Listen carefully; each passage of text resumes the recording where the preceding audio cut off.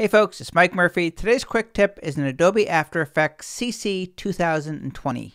In this tutorial, I'm going to show you the keyboard shortcuts for the transform properties. The transform properties include anchor point, position, scale, rotation, and opacity.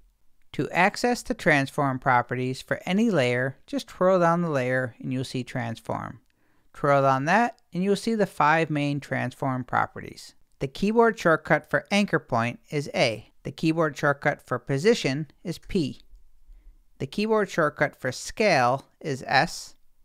The keyboard shortcut for rotation is R.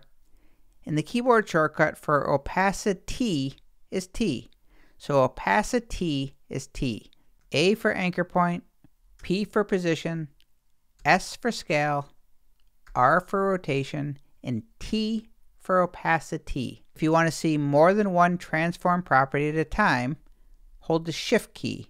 So Shift P will bring up position, Shift S will add scale, Shift R will add rotation, and Shift T will add opacity. If you do not hold the Shift key, you'll only get one at a time. If you just want to quickly reset the transform properties so you can see all five of them without having to hold the Shift key and going through them one by one, all you need to do is twirl close the layer and twirl it back open and you will see all five transform properties.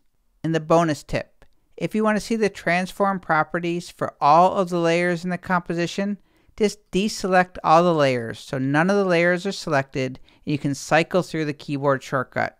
So A for anchor point will pull up all of the anchor points. If you hold the shift key, press shift P, that will pull up the position for all of the layers.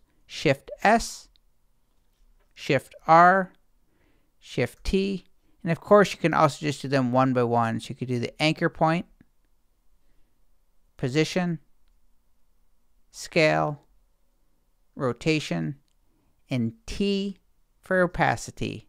My name is Mike Murphy. That is the transform properties in Adobe After Effects CC 2020.